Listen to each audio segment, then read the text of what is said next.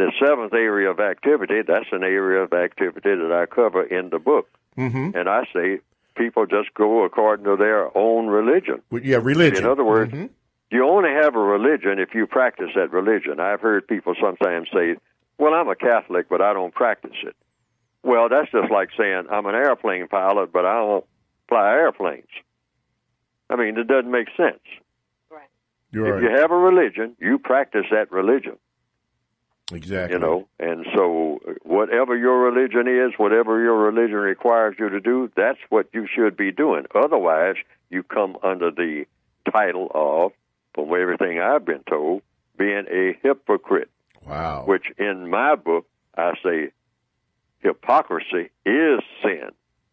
That's according to what I, what I've written now, according to my own religion. Yes, sir. Okay, hypocrisy is sin.